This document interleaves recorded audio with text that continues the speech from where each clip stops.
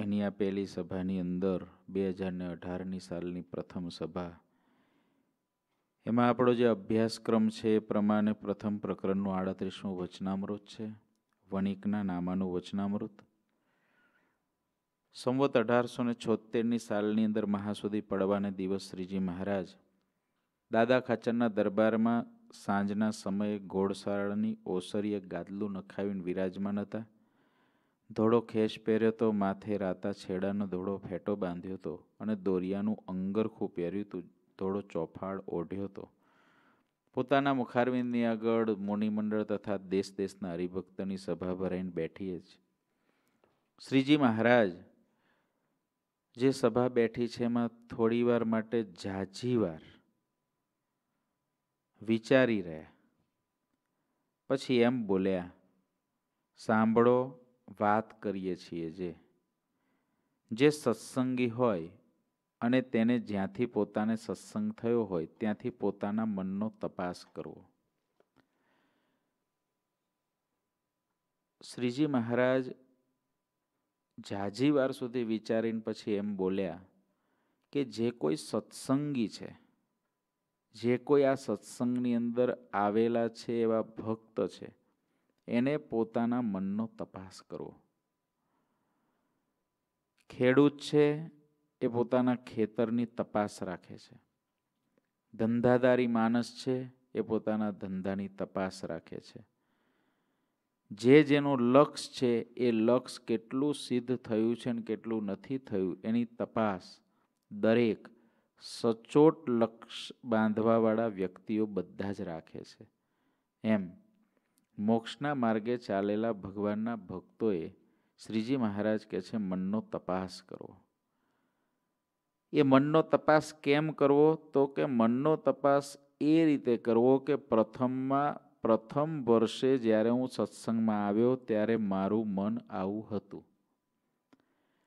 આજે મને સત્સંગમાં આવે પાંચ વર્ષ થયા છે, તો મારું મન અત્યારે આવું છે. હવે મનનો તપાસ કઈ જગ્યાએ થાય છે તો શ્રીજી મહારાજ કે જ્યારે હું સત્સંગમાં આવ્યો ત્યારે જગત તરફની આટલી વાસના હતી અને આજના દિવસે આટલી ઘટી છે. મહારાજ કે વર્ષો વર્ષનો એનો સરવાળો માળવો વર્ષો વર્ષનું એનું નામું માંડવું. અને જે કોઈ વાસના છે એને ધીરે ધીરે ધીરે ધીરે ધીરે ઓછી કરવા માટેની મહેનત કરવી. મહારાજે એમ કહ્યું કે વાસનાને ધીરે ધીરે ઘટાડવી, થોડે થોડે નિરંતર ટાળવી. અને જો એમ વિચારે નહીં અને બધી જ વાસના જો ભેગી કરે, તો વાસના એની ટળે નહીં. જેમ વણિકને ઘેર કોઈ નામું લખ્યું હોય, તે મહિના દાડાનું જો ચૂકવી દઈએ, મહિના મહિનાનું નિરંતર ચૂકાવી દઈએ, તો વાંધો ન આવે. અને જો ન ચૂકાવી દઈએ તો દેતા ઘણું કઠણ પડે. પછી વર્ષ દાડાનું ભેગું થાય ત્યારે આપવાનું બહુ કઠણ પડે. એમ મહારાજ કે, મન છે ને, એ કેવું છે તો મન જગતની વાસનાએ કરીને વસાનું છે. મહારાજે મનનું કેવી રીતે રચના થઈ છે તો કે જગતની વાસનાથી જ ભરેલું છે મન. બીજા કોઈ બુદ્ધિનો તપાસ કરવા ન કીધું, ચિત્તનો તપાસ કરવા ન કીધું, મનનો તપાસ કરવા શા માટે કીધું? કારણ કે મન એ જગતની વાસનાએ કરીને બંધાયેલું છે અને એમાં સતત સંકલ્પ અને વિકલ્પ જગત સંબંધી છે. સતત છે. અને એટલું બધું સ્પીડી છે, એટલું બધું સ્પીડવાળું છે કે આત્માને એક સેકન્ડના કરોડમાં ભાગમાં કોઈ પણ જગ્યાએ લઈ જઈ શકે એટલું સ્પીડી અને એટલું સમર્થ છે. માટે મહારાજ કે એ મનને તપાસતા રહેવું. મન એ જ મોક્ષનું અને બંધનનું કારણ છે. બંધન થાય છે. જીવ બદ્ધ બને છે, એ પણ મનના કારણે જ બને છે. મુક્ત બને છે, એ પણ મનના કારણે જ બને છે. જ્યારે મન નિર્વાસનિક થઈ જાય, જ્યારે એ જ મન ભગવાનના સંકલ્પ અને વિકલ્પ કરતું થઈ જાય, એ જ મન જ્યારે ભગવાનના ચરિત્રોની અંદર ગૂંચાઈ જાય, એ જ મનમાંથી જ્યારે હોય ત્યારે ભગવાન સંબંધી તરંગો જ ઉઠે, ત્યારે એ જ મન મોક્ષનું કારણ બને છે. અને જ્યારે એ જ મન જગત સંબંધી સંકલ્પ અને વિકલ્પને કરતું થાય, જગતની અંદર ગોળ ગોળ ફરતું થાય, જગતમાં આત્માને દોડાવતું થાય, ત્યારે એ જ મન આત્મા માટે બંધન કરતા થાય છે. માટે આત્માનો મૂળ કંટ્રોલ પોતાના મન ઉપર જોઈએ. અને આત્માનો કંટ્રોલ મન ઉપર તો જ આવે કે મનનો એ તપાસ કરતો હોય. દરેક વ્યક્તિએ પોતાની મનની ગતિને તપાસતા રહેવી જોઈએ. કારણ કે જે દી તે દી આપણને સત્સંગમાં ચડાવશે, તો આ મન જ ચડાવશે અને જે દી પાડશે, તે દી આ મન જ પાડશે. આજ તમે બધા કથા વાર્તા સત્સંગ, યુવા સભા બધાની અંદર બેસીને કથા વાર્તા સાંભળો છો? તો આજે મન તમને આ બધું કરવા માટેની હા પાડે છે, તો આ બધું થાય છે. પણ એ મન કાલે ના પાડે તો પણ બળિયા થઈને આપણે જો આ કથા વાર્તાનો યોગ રાખીશું, તો એ મન પાછું એક દિવસ ઢીલું પડીને આપણી ભેગા ભળી જશે. એ છે કેવું કે એક વખત કદાચ આપણને ભગવાનના માર્ગે ચાલવામાં મદદરૂપ પણ થાય. છતાં પણ એ વિશ્વાસુ નથી. ક્યારેક પાછું એ જ મન આપણને જગત તરફ ભટકાડવામાંની અંદર પણ વિશ્વાસઘાત કરે એવું છે. માટે ભગવાન સંબંધી કાર્યમાં મદદરૂપ થતું હોય તો બહુ સારું. પણ જ્યારે એ ભગવાન તરફથી આપણને જગત તરફ ખેંચવા પાછું મહેનત કરે, ત્યારે આપણે થોડાક જો સુરવીર થઈ જઈએ, તો એ મન જતે દિવસે ઢીલું પડી અને આપણી ઈચ્છા મુજબ આપણા કાર્યમાં ભળી જાય. આપણું કાર્ય તો મહારાજને રાજી કરવાનું પામવા એ જ છે. પણ નિત્ય મહારાજ કે મનનો તપાસ કરવો અને વાસનાને ઘટાડવી પછી મહારાજ કે જગતની વાસનાએ કરીને મન છે ને, એ જગતની વાસનાએ કરીને વસાનું છે. જેમ ફૂલે કરીને તિલ વસાય છે.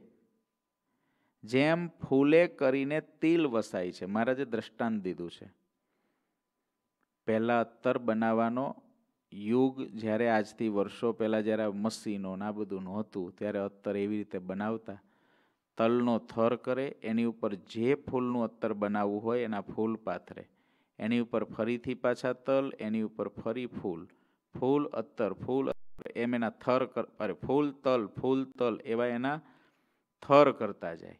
એટલે તલ હોય, એની અંદર સંપૂર્ણ, એ માટલાઓને પછી પેક કરીને ઢાંકી દેવામાં આવે, દાટી દેવામાં આવે, એની અંદરથી પછી અમુક દિવસો એને ખોલવામાં આવે ત્યારે જે તલ હોય એણે સંપૂર્ણ ફૂલની સુગંધોને ગ્રહણ કરી લીધી હોય, એટલે અહીં કહે છે જેમ ફૂલે કરીને તિલ વસાય છે, તેમ મનને ભગવાનના જે ચરિત્ર, તેનું જે મહિમાએ સહિત નિત્ય સ્મરણ રૂપ જે ફૂલ, તેને વિશે વાસવું.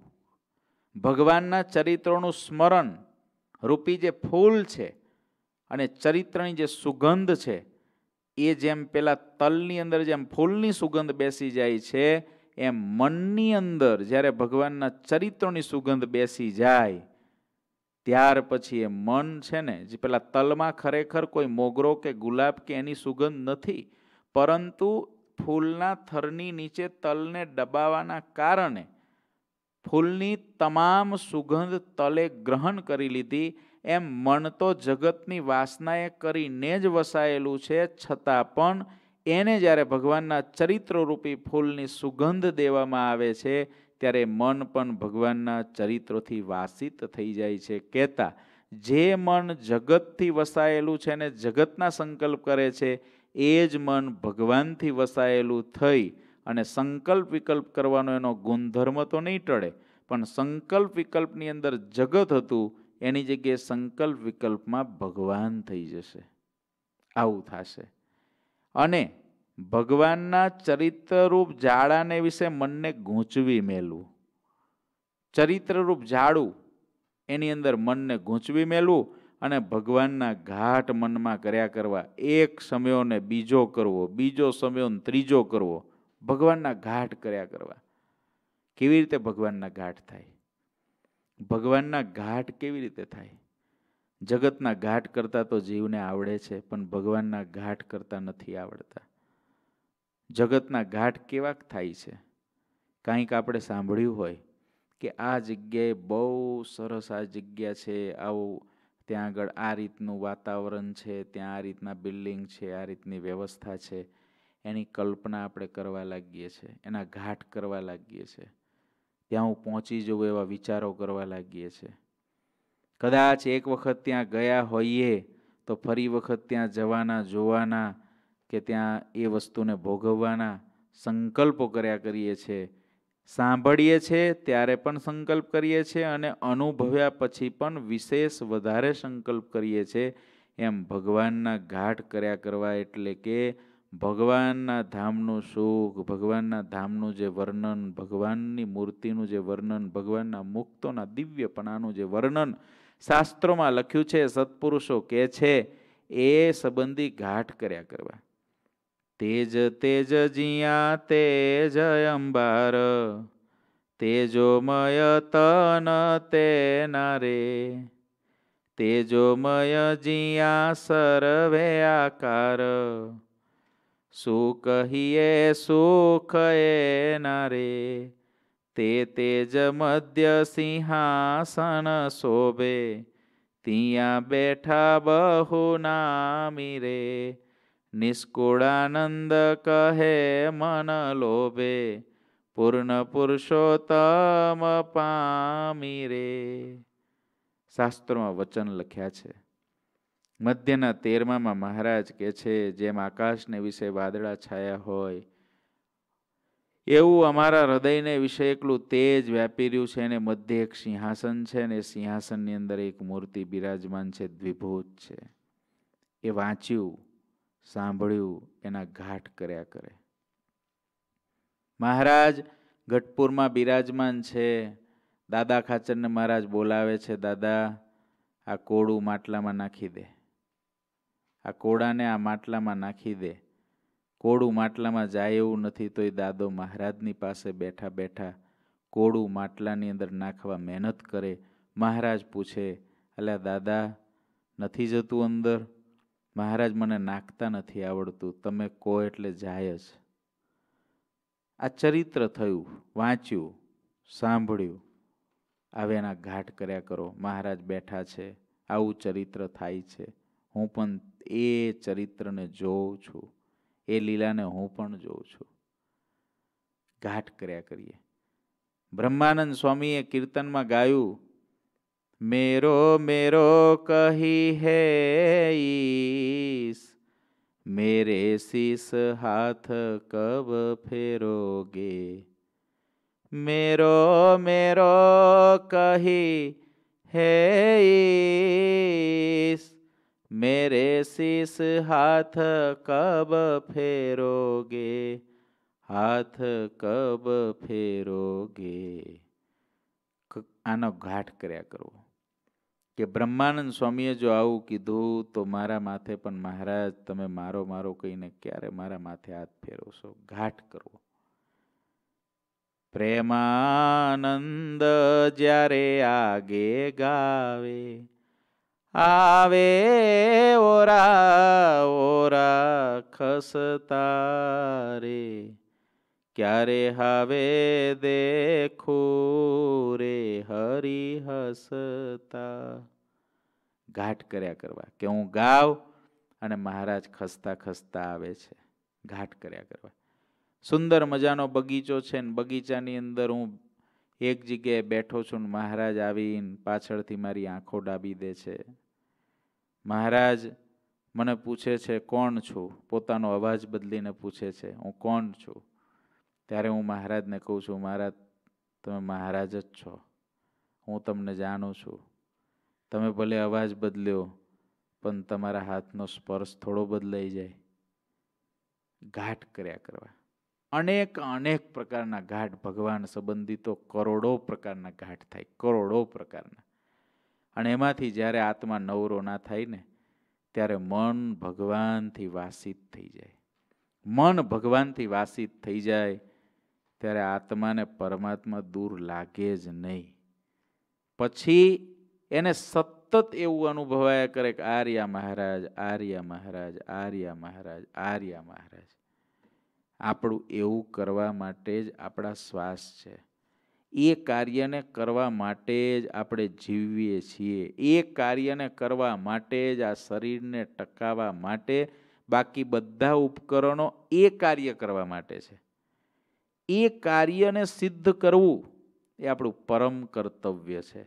જ્યારે આપણને આવા સત્સંગની પ્રાપ્તિ થઈ, જ્યારે આપણને આવા મહારાજની પ્રાપ્તિ થઈ, જ્યારે આપણને આવા મોટા પુરુષની પ્રાપ્તિ થઈ, જ્યારે આપણને આવા દિવ્ય સત્સંગની પ્રાપ્તિ થઈ જ્યારે આપણને અલૌકિક શાસ્ત્રને અલૌકિક વાતોની પ્રાપ્તિ થઈ, ત્યારે આપણું સૌથી મોટું કર્તવ્ય ભગવાનના ઘાટોમાં ડૂબી જવું.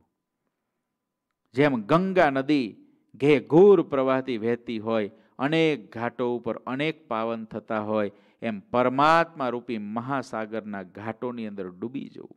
એ ઘાટોએ બેસી બેસીને સ્નાન કર્યા જ કરવું. મહારાજનો એક ઘાટ સમયો બીજો ઘાટ કરવો, બીજો ઘાટ સમયો ત્રીજો ઘાટ કરવો, અનેકા અનેક પ્રકારના ઘાટ છે, અનેક પ્રકારના. મહારાજ પ્લેન ચલાવે છે અને હું પ્લેનમાં બેઠો છું મહારાજ પ્લેન ચલાવે, ચાર્ટર પ્લેન. મહારાજ જ્યારે પ્લેનમાં અમે ફરવા ગયા. મહારાજ, હાલો, લઈ લો આજે. આજે આફ્રિકા લઈ લો. આજે મહારાજ બદ્રિકાશ્રમમાં લઈ લો. ચાર્ટર પ્લેન લઈને ઉપડી જવાનું. ઘાટ કર્યા જ કરવા. પાયલોટ મહારાજ પછી હું વાંધો? અમારા ભગત હશે છે. ભાઈ, આ ઘાટમાં તો હસવું જ આવે. એ ઘાટી એસા હે. પણ ઘાટ ભગવાન સંબંધી કઈ પણ કર્યા કરવા. અરે, આપણે થાળ કરતા હોય ને તો એ મહારાજ આલો રોટલી બનવા મહારાજ રોટલી કરવા આલો. ચાલો, મહારાજ, દાળનો વઘાર કરો. મહારાજ ચાલો જોબે. તમારે કામ નથી કરવાનું, પણ મારી ભેગા હાલો. ઘાટ કર્યા કરો. ઘાટ કર્યા કરો. ભગવાન સંબંધી ઘાટ બધા જેટલા કરવા હોય એટલા થાય ભગવાન સંબંધી ઘાટ. જેટલા કરવા હોય એટલા થાય. અને એવી ટેવ પડી જશે ને ભગવાન સંબંધી ઘાટ કરવાની, પછી શું થશે? સામેવાળા વ્યક્તિઓમાં પણ ભગવાન જ દેખાયા કરશે. કારણ કે આપણને ભગવાનના ઘાટ કરવાની ટેવ પડી ગઈ. મન એવું છે કે એને જેવા ઘાટ કરવાની ટેવ પડે ને એવો દ્રષ્ટિકોણ આપ્યા કરે. જો એ મનને ભગવાન સંબંધી ઘાટ કરવાની ટેવ પડી ગઈ ને તો પછી ભગવાન જ બધે દેખાયા કરશે. અને એવું કરી લેવું એ આપણું બહુ મોટું કર્તવ્ય છે. મન શું તો થશે? જિંદગીના અડધા વર્ષો જતા રહ્યા હોય, મહેનત કરીશું તો હજુ અડધી જિંદગીમાં ઘણું કામ થઈ જશે. જિંદગી ઉગતી હોય તો હજુ જો અત્યારથી મણશું તો અમુક સમય અમુક કામ થઈ જશે. પણ મંડ્યા રહેવું પડે. મહારાજ કે છે, ભૂતનું દ્રષ્ટાંત વિસ્તારીને મહારાજે કહ્યું, જેમ એક જણે ભૂતવશ કર્યું હતું તે ભૂત પછી કે, પેલા માલિકને કામ બતાવો. એટલે માલિક કે, આ કામ કરી આવો. કામ કરીને પાછું આવી જાય. બીજું કામ બતાવો. ભૂત તો એવું જ હોય, એમ મન મનને બધી બહુ ઉપમા આપી. એમ મનને પાછું ભૂત કીધું, ભૂત જેવું છે. હવે ઓલો માલિક કે આ કામ કરીએ. કામ કરીને તરત હાજર થઈ જાય. ભૂતને શું વાર લાગે? હવે જ્યારે એને કામ ના મળે ને, એટલે કે કામ બતાવ્યું ને તો તને ખાઈ જઈશ. આ ગભરાયો કે હારું, આને વશ કર્યું, પણ મને ખાવા તૈયાર થાય છે. હવે આને શું કરવું એક સાધુ આવ્યા. સાધુને પૂછ્યું કે મારે આવું થાય છે. સાધુ કે, એમાં હું? એક વાહડો લાય, ઘરમાં છે મોટો, આ છે ને? ખોડી દે અહીં આગળ ફળિયામાં. તારે જ્યારે કામ હોય ને ત્યારે એને બતાવી દેવું કે આ કામ કરી આવી નહીં તો આ થાંભલો છે ને કહેવાનું ઉત્તર ચઢ કર, આ કામ તારું. એમાં મન છે ને ભૂત જેવું છે. જો એને નવરું મૂકીએ ને તો આપણને જ ખાવા તૈયાર થાય. ભૂત છે. આપણને જ ખાવા તૈયાર થાય, આપણને જ વળગે. એટલે એને ક્યાંક વળગાડવું પડે. એને ભગવાનની મૂર્તિ રૂપી વાહડો, ભગવાનના ચરિત્ર રૂપી વાહડો એની ઉપર એને કહેવાનું તું ઉત્તર ચડ કર. તારે સંકલ્પ વિકલ્પ કરવાની ટેવ જ છે ને ભલા.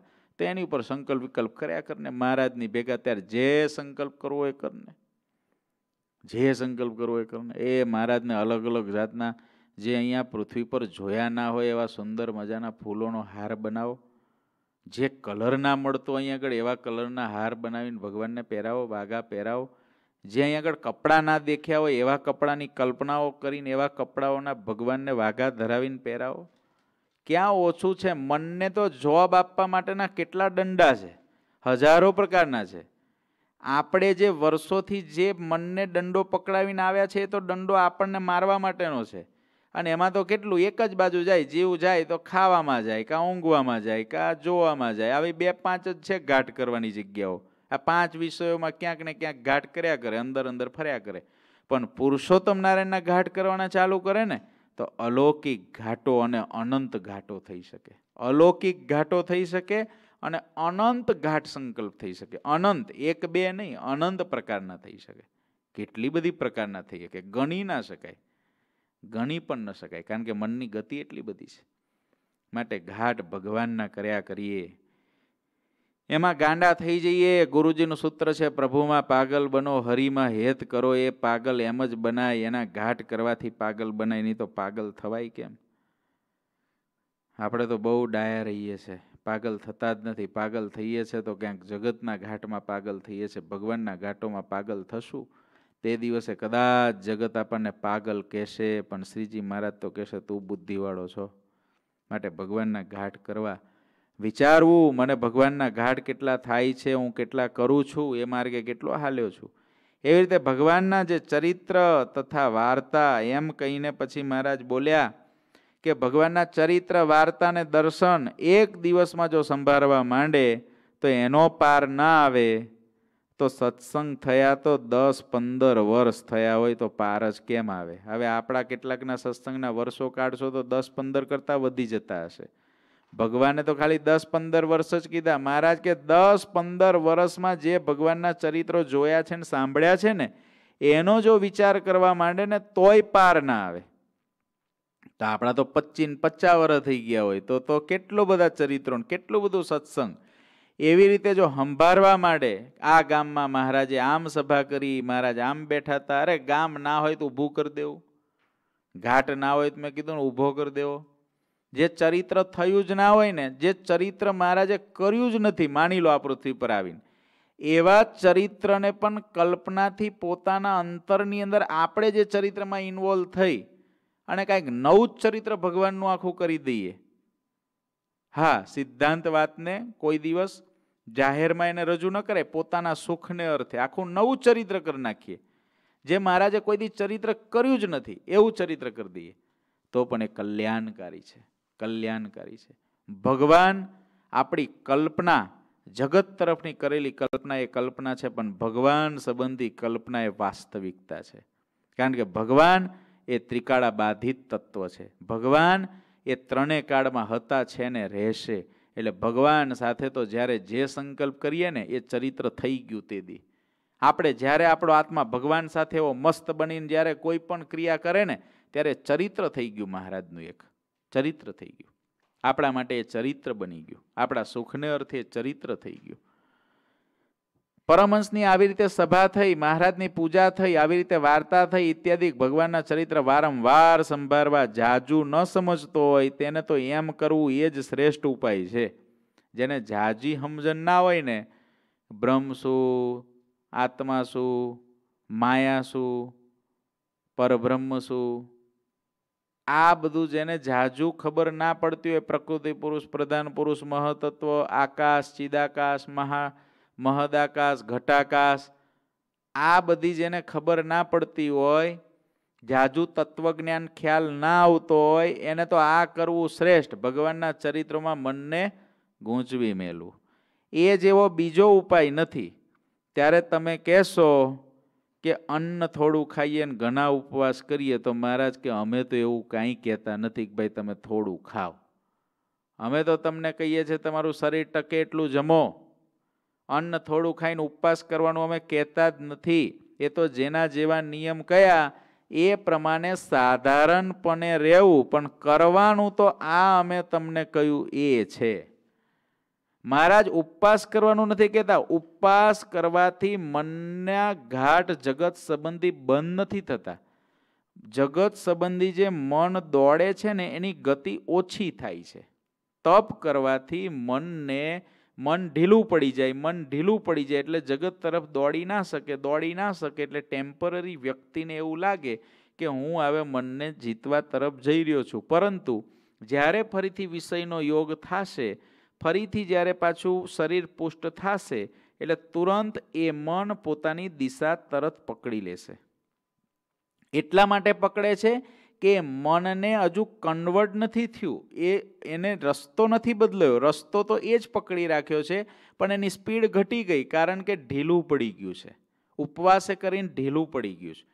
એનો અર્થ એ નથી કે ઉપવાસ ન કરવા, જે પ્રકારે પોતાના શરીરની પરિસ્થિતિ હોય, જે પ્રકારે ભગવાનની આજ્ઞા છે, એ પ્રમાણે એકાદશી આદિક ઉપવાસ કરવા, ચાતુર્માસ આદિકમાં ચાંદ્રાયન ધારણા પરના મોટા પુરુષની આજ્ઞા અનુસાર કરવા. પરંતુ અન્ન થોડું ખાઈ લઈએ એટલે મન આપણું સુધરી જાય એમાં માલ નથી. અન્ન થોડું ખાઈએ એટલે મન ચોક્કસ ઢીલું પડી જાય અને ઢીલું પડ્યા પછી એ મનની અંદર જો ભગવાન સંબંધી ગાઢ સંકલ્પો કરવા હોય, તો એ થોડું કંટ્રોલમાં આવે. એટલે ઉપવાસ કરવાથી મન ઢીલું પડે. ઢીલું પડે એટલે એને થોડી ચોટલી પકડી શકાય. અને પકડ્યા પછી એને ભગવાનના ચરિત્રમાં આમ ડૂબાડી શકાય, જબોડી શકાય. તો પછી એ મન પાછું ભગવાનના ચરિત્રોથી વાસિત થઈ ગયેલું હોય અને ભગવાનના ચરિત્રોમાં ઘૂંચાઈ જાય એવી એને ટેવ પાડવા માટે ઉપવાસની જરૂર છે. પણ ઉપવાસ કરવાથી કાંઈ ભગવાનના ચરિત્રોમાં મન ડૂબી ના જાય. ઉપવાસ કરવાથી કે અન્ન થોડું ખાવાથી મન નિર્વાસનિક ના થઈ જાય. મન ખાલી મોડું પડે, મંદ પડે, એની ગતિ ઘટે. ઘટે. બસ આટલું જ થાય. બીજું કાંઈ ના થાય. મનને સારું કરવા માટે તો ઉપવાસની જરૂર નથી. મનને સારું કરવા માટે ચરિત્રો રૂપ જાડામાં મનને ગૂંચવવાની જરૂર છે. ચરિત્રરૂપ ફૂલની સુગંધ મનરૂપી તલમાં ડાબવાની જરૂર છે. દબાવી રાખવાની જરૂર છે. અને મહારાજ એમ કે છે, અમે તો એમ માન્યું છે કે મન નિર્વાસનિક જોઈએ અને દેહે કરીને ગમે તેટલી પ્રવૃત્તિ હોય, તેનું મન જો શુદ્ધ છે તો તેનું અતિ ભૂંડું થાય નહીં. અને બહાર લોકમાં તો પ્રવૃત્તિવાળાનું ભૂંડા જેવું જણાય. અને જેને મનમાં વાસના હોય તે બહાર સારી પેઠે નિવૃત્તિપરાયણ વર્તતો હોય, તેનું બહાર લોકમાં તો સારું જણાય, પણ તેના જીવનું અતિ ભૂંડું થાય. કેમ જે મુવા ટાણે તો જેવા મનમાં સંકલ્પ હોય તેવા સ્ફૂરી આવે.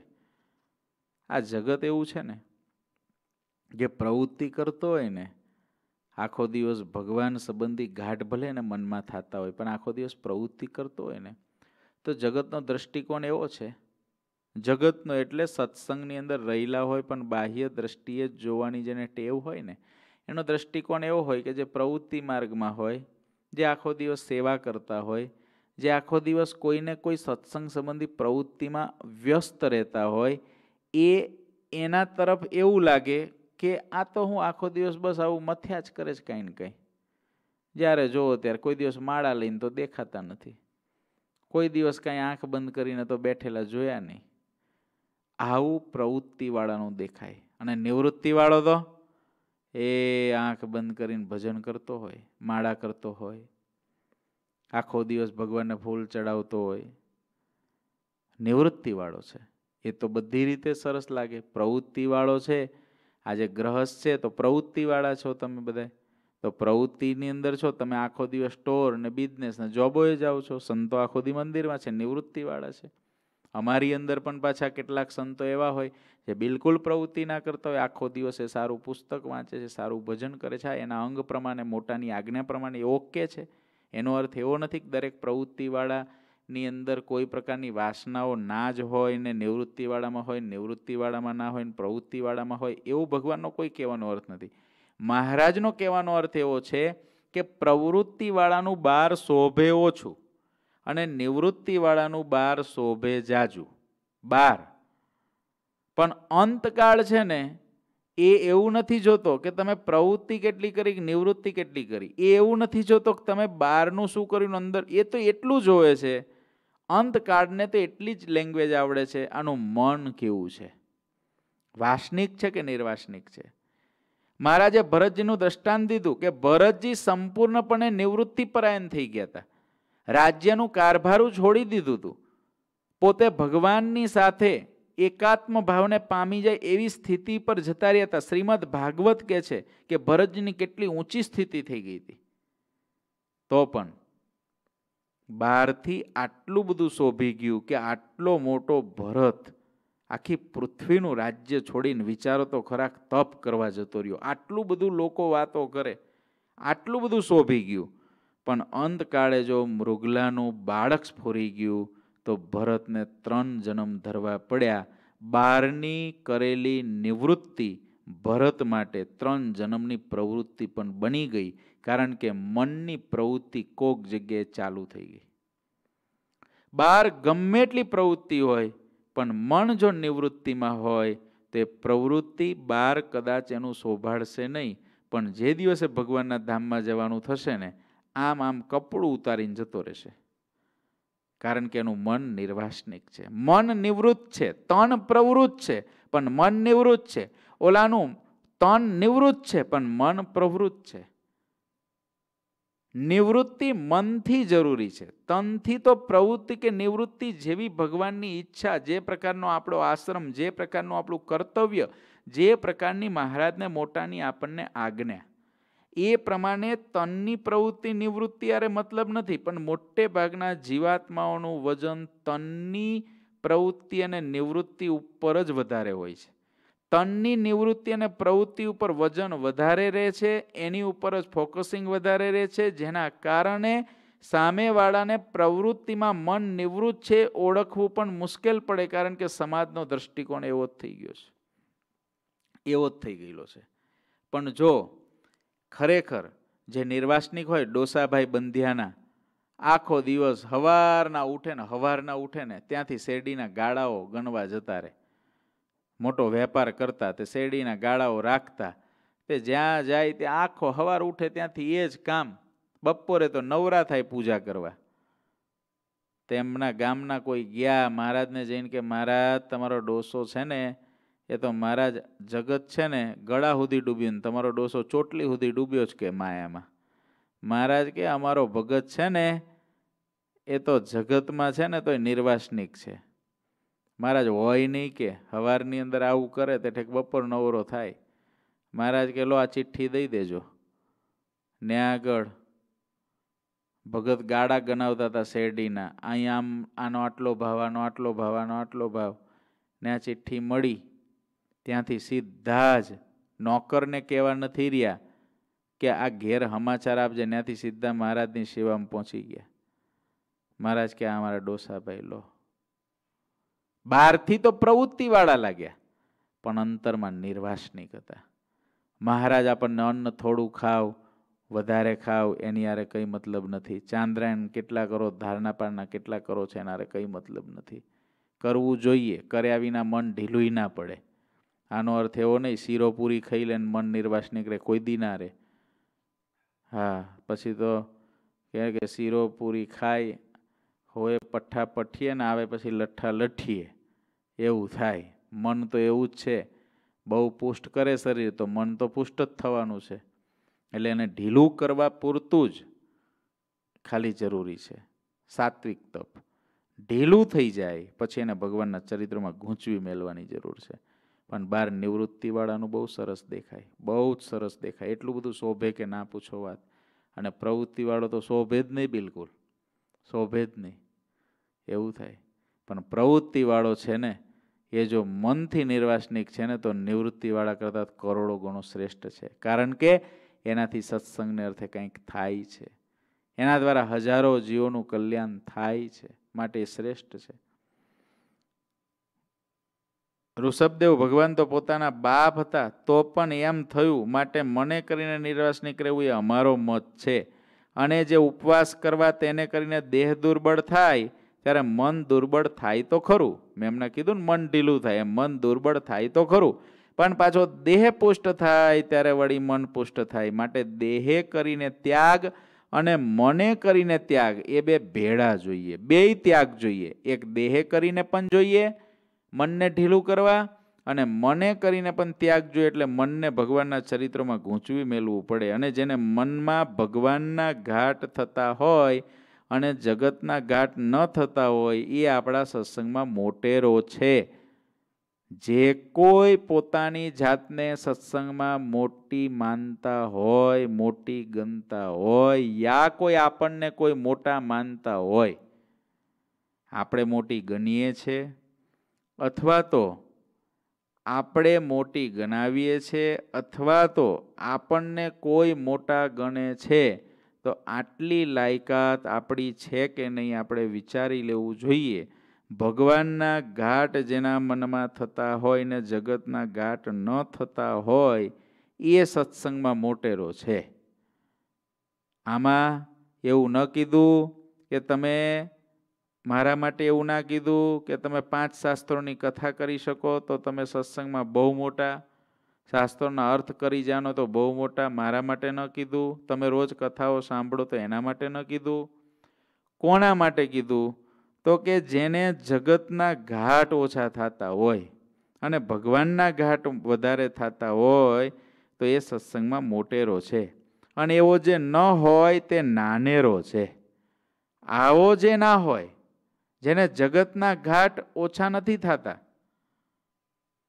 બહુ થાય છે. ભગવાનના ઘાટ ઓછા થાય છે, તો એ નાનેરો જ છે.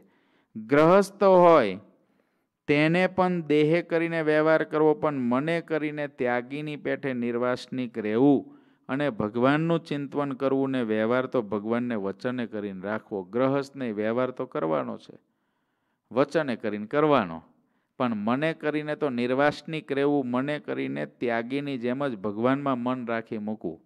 વ્યવહાર બધોય કરવો, પ્રવૃત્તિ બધી કરવી, પણ મન ભગવાનમાં. મનનો ત્યાગ સાચો ન હોય તો જનક જેવા રાજા હતા તે રાજ્ય કરતાને મન તો મોટા યોગેશ્વરના જેવું હતું. તે માટે મને કરીને જે ત્યાગ તે જ ઠીક છે. જનક જેવા રાજા આખા રાજ્યનું કારભારું કરતા, છતાં પણ સમજણતી મિથિલાયામ, પ્રદીપતાયામ ન મેં દહ્યતી કિંચન. આવી સમજણ હતી. પ્રવૃત્તિ માર્ગવાળા હતા છતાં પણ સુખદેવજીના ગુરુ થયા. એટલું મન નિર્વાસનિક, એટલું મન ભગવાન આસક્ત હતું માટે મનને એવું રાખવું. અને મહારાજ કે પાછા પોતાના મનમાં ભૂંડાગાઠ થતા હોય તો પાછા કોને કહેવા તો જેમ કૂતરાનો મુખ કૂતરો ચાટે, સર્પને ઘેર પરોણો સાપ, મુખ ચાટીને વળીઓ આપ રાંડીને પાસે સુવાસીની સ્ત્રી જાય ત્યારે કહે છે, આવ બાય હું જેવી તું પણ થા. એમ પોતાના જેવા ભૂંડા ઘાટ થતા હોય, એની આગળ ઘાટ ન કહેવો એ તો દ્રષ્ટાંત દીધા એમ છે, માટે ઘાટ કોને કહેવો તો જેના મનમાં કોઈ દિવસ જગતનો ભૂંડો ઘાટ ન થતો હોય, એવો બળિયો હોય, એની આગળ કેવો? અને ઘાટ ન થાય એવા પણ પાછા ઘણા હોય. પણ આપણા જે ઘાટ છે, એ ઘાટને ટાળવામાં મદદરૂપ થાય. આપણો ઘાટ ન ટળે, ત્યાં સુધી એવી વાત કર્યા કરે. અને એ ઘાટને પાછા આપણે ઘાટ ઉપર વાત કરી કરીને આપણો ઘાટ ન ટળી જાય, ત્યાં સુધી બેસતા, ઉઠતા, ખાતા, પીતા બધી ક્રિયાની અંદર એ ઘાટને ટળે. અને એ ઘાટ આપણને ખુંવાર ન કરે એવી વાત કર્યા કરે, એવાની આગળ ઘાટ કેવો? પણ આ તો બહુ શુદ્ધ મુમુક્ષુતા હોય ને તો કહેવાય. નહીં તો આપણે જે ઘાટ કીધો હોય ને આપણને જો ખાતા, પીતા, નાતા, ધોતા એ ઘાટ ઉપર સતત અનુસંધાન અપાવે કે ઘાટથી બચજે, તો આપણને એમ થઈ જાય, જો આપણો શુદ્ધ આશય ન હોય તો કે આ મારી પાછળ પડી ગયા છે. અથવા તો એમ પણ થઈ જાય કે આમને તો મેં એક વખત કીધું, પણ આમને તો હાચેન માની જ લીધું બસ હું તો આવો જ છું. હવે મારી પાછળ પડી ગયા સવાર સાંજ બપોર. આવું પણ થઈ જાય. માટે શુદ્ધ આશયથી, આપણે જેની પાસે ઘાટ ટાળવો છે, એની પાસે શુદ્ધ આશયથી પછી આપણને ગમે એટલી વારે ઘાટ ઉપર ડંખ મારે. પણ વિચારવાનું કે ડંખ મારે છે, એ મને ડંખ નથી મારતા, મારા ઘાટને ડંખ મારે છે. એ કદાચ મરોડે છે મને નથી મરોડતા, મારા સ્વભાવને મરોડે છે. જે સ્વભાવ મને જન્મ અને મરણમાં નાખે એવો છે, જે સ્વભાવ મને જગતમાં ફસાવી દે એવો છે, એવા સ્વભાવને મારે છે, મને નથી મારતા. પણ મુમુક્ષુ જ્યારે સત્વગુણમાં હોય ત્યારે સ્વભાવથી અલગ હોય, રજ અને તમમાં હોય ત્યારે સ્વભાવ મિશ્રિત હોય, એના કારણે એને ત્યારે જો ઘાટ ન થતા હોય, એવા જ પણ જો એને ઘાટ ઉપર ડંખ મારે ને તો એને એમ થાય કે મને ડંખ માર્યો. કારણ એ છે કે અત્યારે ગુણમાં છે, એટલા માટે એને એમ થાય છે. પણ મહારાજ કે ઘાટ એવાની આગળ કેવો? કે જેને જગત સંબંધી ઘાટ ઓછા થતા હોય અથવા તો થતા ન હોય અને એને ટાળવાની ચાળ એવી હોય જેવો પોતાને કોઈ ઘાટ થઈ ગયો તો એને જેવી ચાળવાની, ટાળવાની ચાળ હોય, એવી રીતે આપણો ઘાટ ટાળવાની જેને ચાળ હોય એવાની આગળ કેવો? પણ મહારાજ કે પોતે આળસું હોય તો એ આપણને શું સમાસ કરે? એના જ ઘાટ ટાળવા મહેનત ના કરતો હોય તો આપણને ક્યાંથી સમાસ કરવાનો? માટે એવી રીતે પોતાના મનનો ઘાટ કહીને તે ઘાટને ટાળી નાખીને પોતાના મનને વિશે કેવળ ભગવાનના ઘાટ કર્યા કરવા અને જગતના સુખથી નિર્વાસનિક થવું. મહારાજ કે જગતના સુખથી નિર્વાસનિક થવું આવા જ્યારે થવાય ત્યારે મહારાજ કે આપણે પાક્કા મહારાજને ગમે એવા ભગવાનના ભક્ત થયા કહેવાય.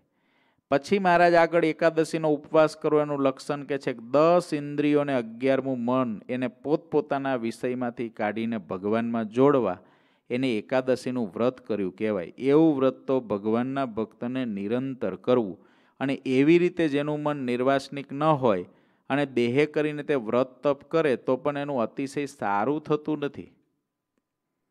મન નિર્વાસનિક ના થયું ને તો વ્રત તપ ગમે એટલા કર્યા તો હાવ વ્યર્થ ના જાય, પણ મહારાજ કે એનું અતિશય સારું થતું નથી.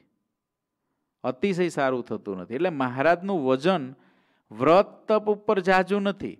મહારાજનું વજન મન નિર્વાસનિક રહે એની ઉપર જાજુ છે.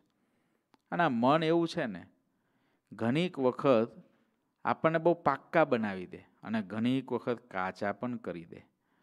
ઉપલેટાના વેરાભાઈ હતા પોતાના ઘરની અંદર બાવીસ વ્યક્તિઓનું ઉપરા ઉપરી એક પછી એક ભયંકર રોગ લાગુ પડ્યો અને એક વર્ષમાં બાવીસ માણસો વેરાભાઈને મરણ પામ્યા. માંદાની રાત્રિ દિવસ સેવાને શુશ્રૂષાન દવા વગેરેમાં ઘરની તમામ સંપત્તિ ખૂટી ગઈ વેરાભાઈને. ઘણી ગરીબ સ્થિતિ થઈ ગઈ. ઘરમાં એક દિવસ ખાનપાનને સુખ સગવડની કોઈ ખામી હતી નહીં, એની જગ્યાએ હાવ વિપરીત થઈ ગયું. તો પણ વેરાભાઈને કાંઈ ના થયું. એનું મન કેવું જગતની અંદર નિર્વાસનિક હશે? તો જ એવું વર્તે. પણ એ વેરાભાઈએ પછી સાધુ થયા. મહારાજને બધું અર્પણ કરી દીધું જે વધ્યું ઘટ્યું હતું એ. અને પછી પરમાનંદ સ્વામી મહારાજે નામ નામ પાડ્યું. પછી મહારાજની આરે બધે ફરે. એમાં ખોખરા મેમદાબાદની અંદર ભયંકર તોફાન થયેલું એકવાર. વૈરાગ્યોએ હુમલો કરેલો. અને ત્યારે નવા સાધુ થયેલા પરમાનંદ સ્વામી હતા, એ હુમલાની અંદર એકબીજાની સિંહ સાંભળીને પેલા દરબારો બધા લડવા ગયા હતા આ તો સ્વામી હતા, માળા લઈને બેઠા હતા. પણ એ જે સાંભળ્યું, મૂળ લોહી ક્ષત્રિયનું, એટલે કૂદી પડ્યા ખુમારીની અંદર એ. તે કટાઈ ગયેલી તલવાર આવી, તલવાર લઈને ત્યાં લડવા માંડ્યા. તે સામે લડતા લડતા કાન કપાઈ ગયો. પછી ખબર પડી કે ઓહો, હું તો સાધુ હતો, અહીં ક્યાં આવ્યો? હવે પાછા આવી ગયા. પાછા આવીને સભામાં બેસી ગયા. મહારાજ કે, પરમાનંદ સ્વામી, તમારો કાન ક્યાં ગયો? મહારાજ, આવું થયું. મહારાજ કે, તમે સાધુમાં ના હાલો સાધુ તો શાંત પ્રકૃતિનો જોઈએ પણ વેરાભાઈને એટલું બધું દુઃખ થયું, એટલું બધું દુઃખ થયું કે, ઓહો, મારાથી મહારાજની આપેલી આ ત્યાગાશ્રમની દીક્ષાનો જે મર્યાદા હોય એ ન સચવાય? પોતે ઘરે જઈ કપડાં તો ભલે અહીંથી મહારાજે ઉતાર્યા અને મહારાજે ફરીથી પાછા ગ્રહસ્થાશ્રમમાં જે કપડાં હતા એ પહેરાવ્યા, પણ ઘેર જઈને બધું જ છોડીને આહાર, નિંદ્રા, બધી જ શરૂર શરીરની જેટલી જરૂરિયાતનું હતું ને એટલો આહાર ને એટલી નિંદ્રા સિવાય બીજો બધો જ સમય ધ્યાન ભજનમાં વિતાવતા. અને બસ મનની અંદર ભગવાનના ગાઢ સંકલ્પો, ચરિત્રો, આનાથી જ મનને સતત પરોવી દીધું. એના કારણે એવું થઈ ગયું આંખ, કાન બધી જ ઇન્દ્રિયોની વૃત્તિઓ ભગવાનને સન્મુખ થઈ ગઈ. મન ભગવાનને સન્મુખ થઈ ગયું એટલે ભગવાન સંબંધી સ્મરણ ચિંતનની અંદર મસ્ત બની ગયા વેરાભાઈ. અને વેરાભાઈ જ્યારે એવી રીતે મસ્ત બની ગયા ને, ત્યારે એક દિવસ રાત્રે પછી ધ્યાન ભજન કરતા હતા. ધ્યાન ભજન કરતા હતા ત્યારે વેરાભાઈના હૃદયની અંદરથી એક દિવસ રાત્રિના પાતલા પોરમાં ઉઠીને મહારાજનું ધ્યાન કરતા હતા ત્યારે મૂર્તિમાન કામાદિક દોષો બધા બહાર નીકળ્યા. એક પછી એક એક પછી એક. એટલે વેરાભાઈને આશ્ચર્ય પામતા એકને પૂછવા લાગ્યા, તમે કોણ છો? ત્યારે કીધું, કામ, ક્રોધ વગેરે કહ્યું, હવે કોઈ પણ દોષ તમારા અંતકરણમાં રહી શકે તેમ નથી. હવે અમે બધા જઈએ છીએ બાવીસ જણ ઘરના મૃત્યુ પામી ગયા. તો પણ જેની નિષ્ઠા શ્રીજી મહારાજમાંથી ડગી નહીં. અંડેન દાંતને વેર થઈ જેવી ગરીબી આવી ગઈ. તો પણ જેની નિષ્ઠા ભગવાન સ્વામિનારાયણમાંથી ડગી નહીં, આટલા નિષ્ઠાવાન હોવા છતાં હજુ અંતરમાંથી કામ ક્રોધ નહોતા જતા રહ્યા, સંપૂર્ણપણે. એટલું જ નહીં, શ્રીજી મહારાજે સાધુ કરી દીધા. ભગવા કપડાં પહેરી લીધા ને પરમાનંદ સ્વામી નામ પાડી દીધું તોય આ લોકો અંદર બેઠા હતા. મહારાજે પાછા કપડાં ઉતાર્યા પાછા ઘરે મોકલ્યા. પશ્ચાતાપના કારણે પછી પોતાના મનને ભગવાનની અંદર રાખવાનું ચાલુ કર્યું કે અખંડ આવી એ પરાયણ રહેવું છે. દેહને ટકાવા પૂરતો આહારને નિંદ્રા લઈને બસ ભગવત પરાયણ જ જાજુ રહેવું છે. ત્યાર પછી આ બધાય કાળા બધાય માથા બહાર નીકળ્યા. એક પછી એક એક પછી એક એક પછી એક. એટલે મનને નિર્વાસનિક કરવા માટે વ્રત તપની જરૂર છે. પણ એટલા બધા પ્રમાણમાં જરૂર નથી કે, ઓહો, મારે તો બાર મહિના ચોવીસ મહિના ધારણા પારના કરી નાખવા છે ને ચાંદ્રાયણ કરી દેવા છે ને કાંઈ બસ બાજરો જ પલાળેલો ખાવો છે ને, એટલું બધું તપની જરૂર નથી. મહારાજની આજ્ઞા પ્રમાણે ચાતુર્માસ સાદિકમાં વ્રત તપ કરીએ. જ્યારે જ્યારે મોટાની આજ્ઞા લઈને જે કંઈ વધારે કરવું હોય તો એની આજ્ઞા લઈને કરીએ. બાકી ભૂખ કરતાં બે કોળિયા ઓછા જમીએ. સૌથી સારું તપ છે. ગોપાળન સ્વામી કે એક ભાગનું પાણી, બે ભાગનું અનાજ અને એક ભાગનો વાયુ આટલું શરીરમાં રહે ને શરીર ટકી રહે કોઈ દી કાંઈ પ્રોબ્લેમ થાય નહીં અને સુખેથી ભગવાન ભજાય. અને મન બહુ પુષ્ટય ના થાય. હા, સો ટકા મન પુષ્ટ થવાનું કારણ તો અન્ન જ છે. અન્નમાંથી જ મન બને છે. એટલે જેટલું અન્ન બહુ જ આમ ગળા સુધી ડાબીને ખાય તે કંઈ થોડો ભજન કરી શકે. એ કાંઈ થોડો વચનાવત વાંચી શકે. એ કાંઈ થોડો કથા સાંભળી શકે. એ તો કહટાય, પલંગમાં પડ્યો પડ્યો. હુઈ જાય, મગરમચ્છની જેમ. હવાર પડી જાય તો એ ખબર ના પડે. કારણ કે બરાબર ગળા સુધી ખાધું હોય તો એ અન્ન તો અન્ન, અન્નથી મન એટલું બધું પુષ્ટ થઈ જાય. એટલે મન પછી ચકડોળે ચડે, એ કાંઈ ભગવાનમાં ના જાય. પણ થોડુંક શરીરને ટકાવવા પૂરતું અન્ન મળી જાય ને તો શું થાય? બીજું વધારાનું અન્ન છે, એમાંથી જ મન વધારે બને છે. નહીં તો જો શરીરને જેટલું જરૂર છે એટલા પોષણ પૂરતું અન્ન લેવામાં આવે, તો એ અન્નથી બનતું મન એ સત્વગુણી બને છે.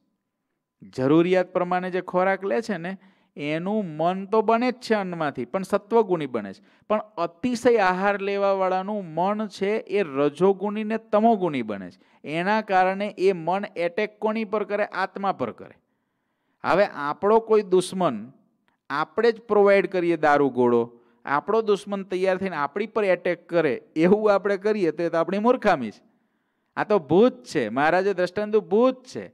એને તો બસ દંડો આપણીને ઉતર ચડ ઉતર ચડ કર ભાઈ. આ જ તારું કામ છે, ભગવાનના ચરિત્રોમાં, ભગવાનના ઘાટ સંકલ્પમાં ઉતર ચડ કર. આ જ છે, એને એ જ કરાવવું પડે. કારણ કે આ મનને જો તપાસ્યા ના કરીએ ને, તો કેટલી મોટી કેટલીક વાર સત્સંગમાં ઘટના ઘટે. ઘણી વખત આવી ઘટના કહેતા ભય એ લાગે, ઘણી વખત ગભરાઈ જાય બધા. કે આવી ઘટના જો આમને થઈ તો સારું આપણે કેમ થશે? પણ સાવધાની કરવા માટે જરૂરી હોય એટલે કહી દઉં છું એક પ્રસંગ. ઉપલેટાના જ એક અર્જનભાઈ કરીને બહુ સારા હરિભગત. એકવાર એમની દીકરીના સગપણનો સમય હતો. સામા પક્ષવાળા કન્યાને જોવા આવ્યા. તે ઔપચારિક બધો વિધિ પૂરો થયો. બધા બેસીને ભાઈ બધા વાતો કરી રહ્યા હતા. મહેમાનોમાંથી એક જણો બોલ્યો કે, અર્જન બાપા, તમારી દીકરી આમ તો બધી રીતે બરાબર છે, પણ જરા ભીનેવાન છે એના નાક ઉપર છે શેરડીનો ડાક છે. ત્યારે અર્જન બાપાએ બહુ સહજ રીતે કહ્યું કે, હશે. નાક ઉપર શેરડીનો ડાક છે, બાપા કે, હશે. મહેમાનોને આશ્ચર્ય થયું. અંદર અંદર વાત કરવા લાગે કે અર્જનભાઈ, હશે કેમ કે છે? એને એની દીકરીના નાક ઉપર સીડીનું ચીન એને ખબર નહીં હોય કે આવા ડાઘ છે એમ. મહેમાનોની વાત સાંભળીને અર્જનભાઈ બોલ્યા, તમને મારી વાત તો નહીં મનાય, પણ હું તમને કહું કે હું ભગવાન સ્વામિનારાયણનો સત્સંગી છું. મેં મારી દીકરીનું મોઢું નિરખીને જોયું હોય તો ભગવાન સ્વામિનારાયણ મારું કલ્યાણ ના કરે. મેં મારી દીકરીનું મોઢું જોયું હોય તો ભગવાન સ્વામિનારાયણ મારું કલ્યાણ ના કરે. કેવા હરિભગત આ સંપ્રદાયમાંના સત્સંગમાં હતા, વિચારો તો ખરા. જેને પોતાની દીકરી એના મોઢાની ખબર નથી. તો ઘરમાં રહેતા હશે, વ્યવહાર કરતા હશે, બોલતા હશે, પણ યુવાન થઈ ગયા હોય, નાના હોય, ત્યારે જોયે ભાઈ યુવાન જેમ થતા જાય, એમ ક્યારેય પણ એની સામે જોયું ના હોય. કેવી સમજણ કેવી, કઈ પ્રકારથી એની માન્યતા, કઈ પ્રકારથી સંસારમાં રહેતા હશે, કેવી સ્થિતિએ રહેતા હશે. સદગુરુ ગુનાદાન સ્વામીના સમાગમનું આ પરિણામ હતું. સ્વયં ગુણાદિતાનંદ સ્વામી અર્જનભાઈ અને લાલાભાઈની ઊંચી સ્થિતિની સ્વમુખે પ્રશંસા કરતા હતા. સ્વામી પણ પ્રશંસા કરતા હતા બહુ ઊંચી સ્થિતિવાળા છે. સ્વામીના જોગમાં આવેલા હરિભક્તો સંસારમાં રહેતા પરંતુ જનકને અમરીશ જેવા હતા. દેહભાવ ટળી ગયા હતા. સ્વામી એમને છતે દેહ બ્રહ્મરૂપ બનાવીને પરબ્રહ્મમાં જોડી દીધા હતા. હવે કેવું થયું જો અર્જનભાઈની એક વાત નવાઈ ભરેલી થોડી. અર્જનભાઈને ત્યાં જેરામ કરીને દીકરો હતો. અને જેરામને પણ ખૂબ સાર જેરામ પણ ખૂબ સારો ભગત હતો. પાછલી ઉંમરમાં અર્જનભાઈ ચાર વર્ષ સુધી બીમાર રહ્યા હતા.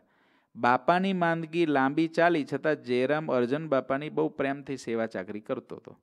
એકવાર ગોપાળાન સ્વામીના કૃપાપાત્ર શિષ્ય કૃષ્ણ ચરણદાસજી સંત મંડળ સાથે ઉપલેટા પધાર્યા. અર્જન બાપાની ખબર કાઢવા આવ્યા.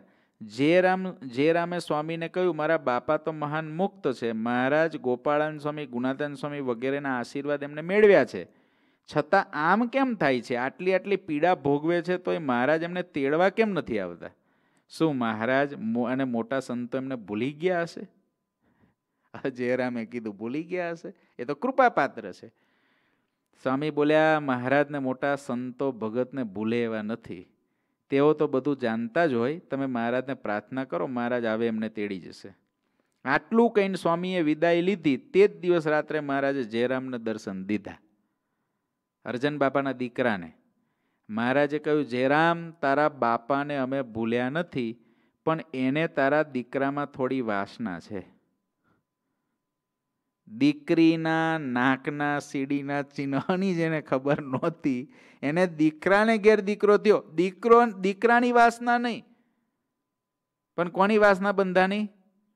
દીકરાના દીકરાની. માટે મનને તપાસવું પડે. મહારાજ એટલે કે છે, મનને રોજ તપાસવું પડે. કારણ કે આ ક્યારે ડાયું થાય અને ક્યારે ગાંડું થાય, એની કોઈ ગેરંટી નથી. અને સારું એ એક સેકન્ડ માટે ગાંડું થઈ જાય ને તો આપણું તો બહુ મોટું કામ બગાડ નાખે એવું છે. આપણી વર્ષોની ભેગી કરેલી મૂડી, હા, નષ્ટ ના થઈ જાય. નષ્ટ ના થઈ જાય. ગાડું હોય, ગાડાની અંદર આપણે આમ હીરા ભરીને જતા હોય, ઠેલીમાં હીરા ભરીને જતા હોય, ઘરમાં ઘરમાં જ હોઈએ, તો હીરા આમ ઠેલી હોય ને ઠેલી ફાટી જાય. તો હીરા કાંઈ ખોવાઈ તો ના જાય, પણ ભેગા તો કરવા પડે. ભેગા કરવામાં ટાઈમ તો જાય. ક્યાંક ધોળની અંદર જો આમ ક્યાંક છુપાઈ ગયો, રસ્તા ઉપર ઢોળાઈ ગયા હોય હીરા, તો ગાડું આપણું ઓલર્યું ગાડાની અંદર રૂપિયા રૂપિયા ગબડે. રૂપિયા ગબડે તો કાંઈ બે પાંચ દસ કિલોમીટરમાં ગબડી ના જતા રહે. હોય એટલા જ એરિયામાં. સો બાય સોના એરિયામાં મળી જાય ગાડું ઉલડ્યું હોય તો, પણ એ રૂપિયા ભેગા કરવા એક કામ છે. રૂપિયો ખોટો એક કે ના થાય થાય? ના થાય. રૂપિયો બહુ દૂરે ના જતો રહે. પણ ભેગો કરવાની અંદર તો પાછો આમ ગણવો પડે કે હારા દસ હજાર હતા. હવે દસ હજાર સિક્કા વેરાઈ ગયા હોય. અને પછી ભેગા કરીને ગણવાના. એ ટેન્શન કેટલું, ના મળે તેની ચિંતા કેટલી? એમ ભક્તિ કરેલી વ્યર્થ તો ના જાય. એ સિક્કા જેવું છે, સોના જેવું છે. ભાંગ્યો તો એ કળશ સોનાનો. જે ભક્તિ કરી છે, વ્યર્થ નહીં જાય. પણ આ મન એવું છે ને પેલો એક બળદ જો હરખો ના હાલે તો ગાડું ઉલાડ દે ને એમાં મન જો હરખું ના હાલે ને તો આપણું સત્સંગનું ગાડું ઉલાડ દે. એટલે જરૂર છે. આ અર્જન બાપાને દીકરીના નાકના સીડીના ચિહ્નની ખબર નહોતી. એનો ડાઘની ખબર નહોતી. જેરામમાં વાસના નહોતી. પણ મહારાજ જેરામને કે તારા બાપાને તારા છોકરામાં થોડી વાસના છે. અમે કાંઈ ભૂલ્યા નથી. અમારે તો લઈ જ જવા છે.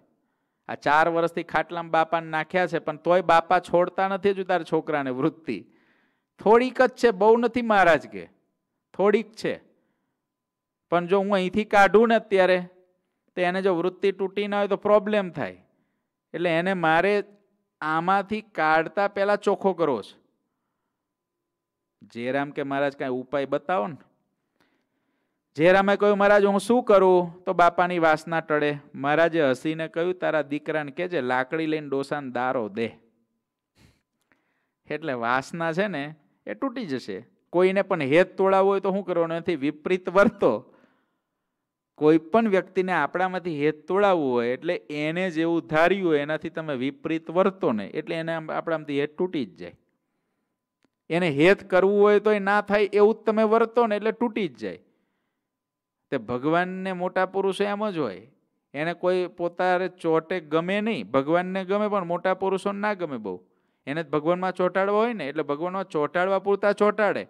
પણ જો કોઈ અતિ ચોંટવા જાય, તો પછી એમ વર્તે એવું કોલો તૂટી જાય, છતાં પણ ના તૂટે. તો પછી રાજી થઈને ભગવાનમાં ચોંટાડે. એ તો મોટા પુરુષો ભગવાન તો નિર્ગુણ છે. પણ આ જગતની અંદર કોઈની અંદરથી હેત તોડવું હોય તેનાથી વિપરીત વર્તવાનું, એટલે એને આપણામાંથી તૂટી જાય. બીજે દિવસે જે રામે પોતાના છોકરાને મહારાજે કહી હતી એ બધી વાત સમજાવીને કહ્યું કે આપણે બાપાના જીવનું ભલું કરવું છે. માટે તું છે ને ખોટે ખોટી લાકડી ઉગામીને બાપાને ડારો દે એટલે બાપાને હેત મટી જશે. કારણ કે જ્ઞાની તો હતા જ ને, ગુણાતીતાન સ્વામીનો સમાગમ કરેલો. સ્વામીએ વખાણ કરેલા છે એના એવા લાલાભાઈ ઉપલેટાના બધા ઊંચી સ્થિતિવાળા ઇન્દ્રને જઈને કયાવે એવા, આ એ પંક્તિના બધાય. એને આમ થાય. એટલે મનનો તપાસ કરવો પડે. આપણે હવે તમે વિચારો, આ આવા તોય મનનો તપાસ ના કર્યો હોય તો આવો પ્રોબ્લેમ થઈ જાય.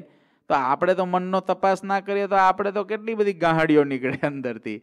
ઢગલા બંધ નીકળે. છોકરાએ હાથમાં લાકડી લીધી, બાપાને ડારો દીધો ને કહ્યું, આવા મોટા ભગત થઈને મહારાજને બદલે મારામાં હું મન રાખો છો? મહારાજને સંભારો નહીં તો મારીશ.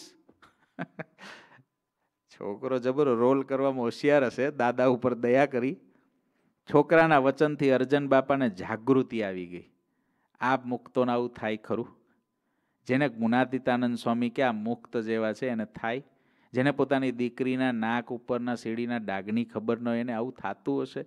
આ તો ખાલી દ્રષ્ટાંત છે. આ બધા તો ખાલી સેમ્પલો ભગવાને અલગ અલગ પ્રકારના બનાવ્યા. કોના માટે? આપણા માટે. આપણે સાવધાન રહીએ. બાકી આને કંઈ થાય જ નહીં. એટલી વારમાં બસ લાકડી લીધી, હું મોટા ભગત થઈને મારા બસ જ્ઞાન થઈ જાય. થતું હશે કોઈ દી કોઈ દી ના થાય. જે વાસનિક હોય ને, એ તો કે બેટા એવું નહીં, બેટા એવું ના કરાય. એમ કરે. પણ અર્જન બાપાને તરત જ લાઇટ થઈ ગઈ. કે ઓહો, મારી દીકરીના નાક ઉપર ડાઘો છે એની મને ખબર ના રહી.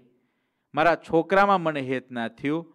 અને આ છોકરાના છોકરામાં મને હેત થઈ ગયું. આ મૂક્યું. તે મૂકાઈ ગયું, બોલો. એના પરથી ખબર પડે કે આને હતું નહીં. જેને હોય ને એને આમ મુકાય નહીં. જેને ખરેખર વાસ ન હોય ને એને તો ઉપદેશ આપીને વરહદાડો ચોખ્ખો કરવો પડે. ત્યાર થાય. કાંઈ આમ એક મિનિટમાં આમ મૂકી દે કે આમ મૂક્યું. થઈ ગયું. બસ પતી પતી ગયું. એવું કોઈ દી ના થાય. એનો અર્થ કે વાસના જેવું બતાવતા હતા એમાં હતું નહીં. કોઈ પણ મુક્તને ઓળખવાની રીત એ છે કે એ એવું નક્કી કરે કે આ મેં મૂક્યું. લે. બસ મૂકી દીધું ને. મૂક્યું તે મૂક્યું. પછી એમાં કોઈ દી દેખાય નહીં સાંભળે નહીં કાંઈ નહીં. સમજી લેવાનું, આ તો મુક્ત છે. નહીં તો થાય જ નહીં. એમાં દોષ નહીં કલ્પવાનો. એને ખબર નહીં કોણાએ પાછલાના ઉપદેશને અર્થે એવું ચરિત્ર કર્યું હશે, ખબર નથી.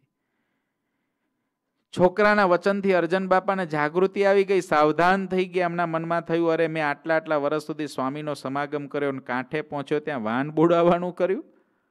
અને પસ્તાવો કરીને અર્જન બાપા વાસના માત્રનો ત્યાગ કરીને મહારાજને સંભાળવા લાગ્યા. થોડો સમય થયો ને મહારાજે ગુણાતીતાનંદ સ્વામી, ગોપાળન સ્વામી મોટા મોટા સંતો સાથે દર્શન દીધા અને ધામમાં તેડી ગયા. બોલો, આવું થયું.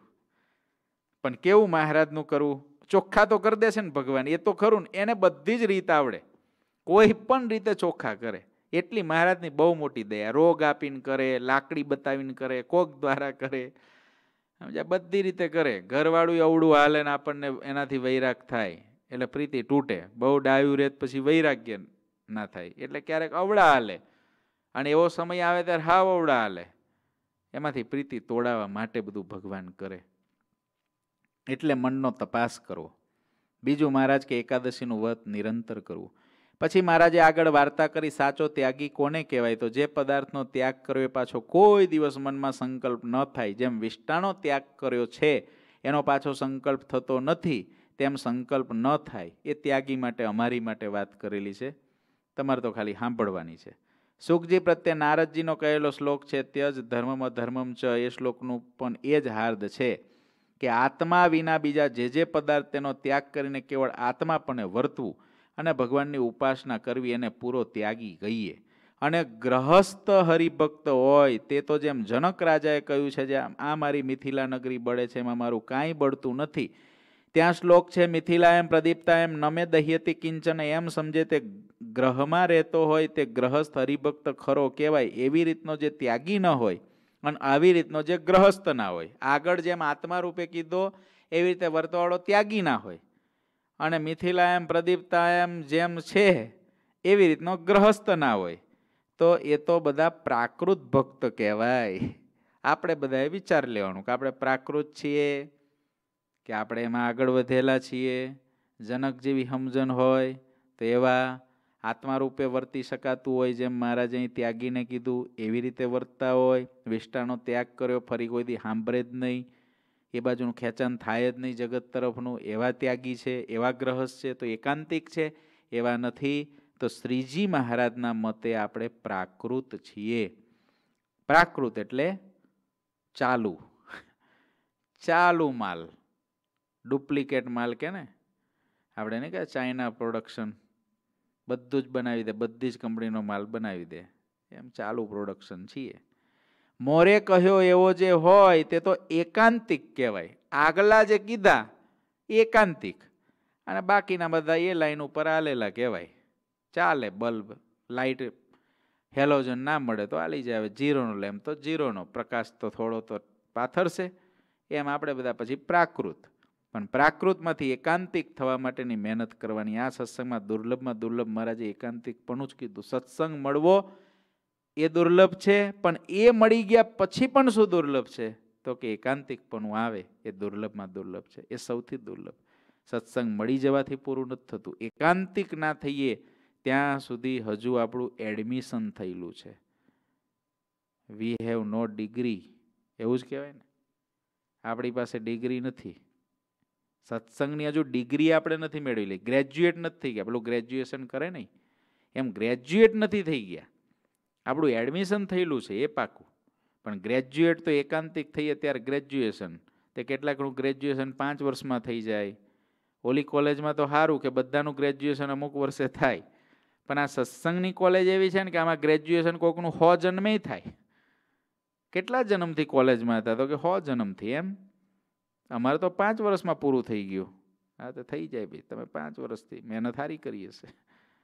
તમે કેટલા જન્મથી? અમારે તો એક કરોડ જન્મથી મહેનત ચાલુ છે એમ. તે હજુ ગ્રેજ્યુએટ આ જન્મે નહીં થઈ, આવતા જન્મે કદાચ થઈએ તો.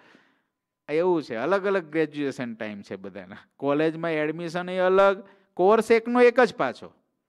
કોર્સ એકનો એક, પ્રોફેસરો એકના એક, શાસ્ત્ર એકના એક, બધું એકનું એક. પણ ટાઈમ બધાનો જુદો જુદો. કેવી ખેવના છે ને કેવી શ્રદ્ધા છે એની પર આધાર છે. અહીં પાછું એવું નથી કે હાલો ભાઈ, આ કોલેજમાં ના મળ્યું તો એનાથી થોડી ડાઉન કોલેજ. એક જ કોલેજ છે, સત્સંગની કોલેજ. કોલેજ એ ખરખી જ છે, એમાં કોઈ ફેરફાર નથી. હા, એમાં કોર્સ થોડા થોડા પ્રશ્નો, થોડા કોર્સના પ્રશ્નો બધા હેલા છે ક્યાંક ક્યાંક કે ભાઈ આમ ના થાય તો આમ કરજો. સમાગમમાં પડ્યા રહેજો, તો જે પ્રાપ્તિ એને થશે, એ જ એને થશે. પણ સમાગમમાં પડ્યા રહેવું એનો અર્થ શું થાય? પડ્યા રહેવું. સારંગપુરનું દસમુખ જે પ્રાપ્તિ એ સંતને થશે, એકાંતિક સંતને થશે, એ જ પ્રાપ્તિ તમને થશે, એની મધ્યે પડ્યા રહેશો તો. પણ પડ્યા રહેવાનો અર્થ કેટલો અઘરો છે. માન થાય, અપમાન થાય, ધાર્યું થાય, ન થાય, કોઈ પણ પ્રકારનું વાતાવરણ સર્જાય, પણ એને ભગવાનના એકાંતિક સંતમાંથી કોઈ દિવસ મન ડગે નહીં, પાછો પડે નહીં. ત્યારે એ સંતને જે પ્રાપ્તિ થાય, એને થાય. પણ કાંઈક થાય ઊંચો નીચો થઈ જાય, તો એને એ એ કોર્સમાં નથી હાલે આ જેટલા ચેપ્ટરો છે, એમાંથી કોઈ પણ પાંચ, દસ ચેપ્ટરો જ પાકા કરવાના. ઝાઝા કરવાની જરૂર નથી, પણ પાંચ, દસ તો પાકા કરવા પડે ને. ગ્રેજ્યુએટ્સ ગમે ત્યાંથી થાય. ભાઈ, તમે મેડિકલમાંય ગ્રેજ્યુએશન થતું હશે. બીજી કોલેજની બીજી કોઈ ડિગ્રી લેતા હશે, એમાંય ગ્રેજ્યુએટ ગ્રેજ્યુએશન તો અલગ અલગ ફિલ્ડના બધા બહુ હોય ને. એમ શાસ્ત્રમાં પણ એકાંતિક થવા માટેનો ખાલી એક જ રસ્તો નથી. બધા બહુ રસ્તાઓ છે એકાંતિક થવા માટેના. બધા બહુ પ્રકારના કોર્સ છે. ડિગ્રી એક જ છે. પણ એના કોર્સ બધા બહુ જુદા જુદા પ્રકારના છે. પણ કોઈ પણ એક કોર્સમાં વ્યવસ્થિત રીતે એને જવું તો પડે ને. જેમાં તાકાત હોય. પ્રથમના અઢારમાં તાકાત હોય તો એમાં જાય. સારંગપુરના દસમાં તાકાત હોય તો એમાં જાય. વરતાલના પાંચમાં તાકાત હોય તો એમાં જાય. સારંગપુરના અગિયારમાંની તાકાત હોય તો એમાં જાય. આ બધા એકાંતિક કરવાના વચનામૃત છે. જેમાં જવું હોય એમાં. પ્રથમના સાઠમાં તાકાત હોય તો એમાં જાય.